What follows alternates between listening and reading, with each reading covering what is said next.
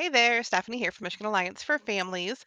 I had the opportunity to sit down with a couple of different agencies across the state to record a new talk show for you guys this summer. So, this is a new way for us to bring you information at your convenience. They're going to premiere Wednesdays. The first one is this upcoming Wednesday at noon on July 10th. I got to sit down with Sherri Boyd from the ARC Michigan and learned more about what they do what the difference is between the ARC Michigan, your local ARC chapters, and the um, national ARC, and things that you can do to further your advocacy and continue to grow your voice. So I hope you can tune in and I hope you find it useful. Have a great day.